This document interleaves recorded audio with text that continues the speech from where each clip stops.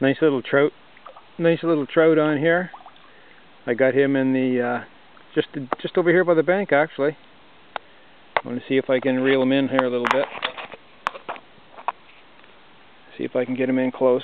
I don't want to play him out too much here. That's the problem. You can't get any any grip.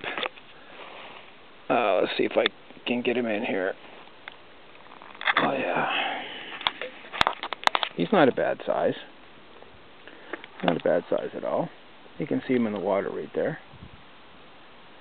Once again, I caught him on one of these Berkeley Berkley Power gulp niblet things.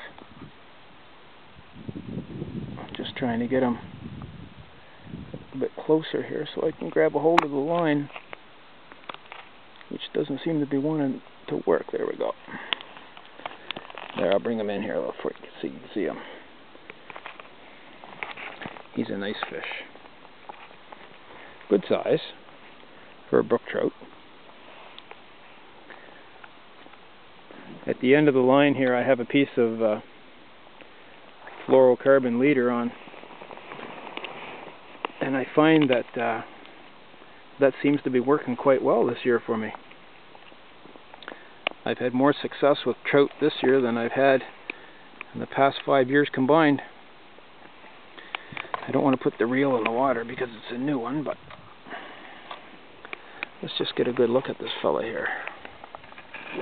He's not a bad little size. Come here, guy.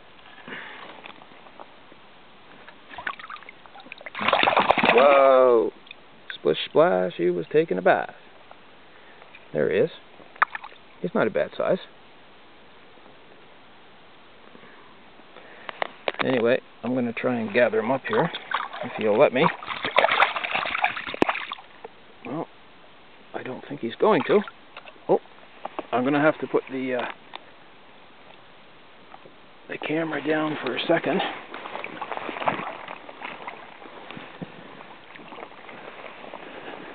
So I can get this guy over here. There he goes over here. Come on there, sunshine. You let me get a grip on you and I'll get that Berkley Power Gulp thing out of your beak. Or your mouth, I guess. Come on.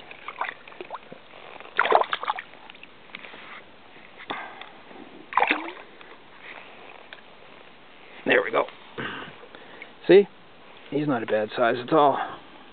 Hey, Mr. Trout. Anyway, I'm going to shut this off and let him go.